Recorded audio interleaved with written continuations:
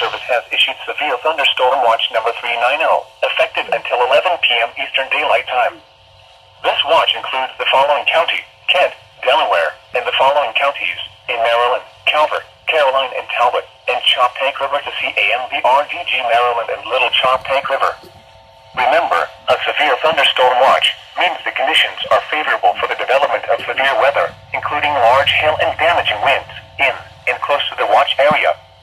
While severe weather may not be imminent, persons should remain alert for rapidly changing weather conditions and listen for later statements and possible warnings.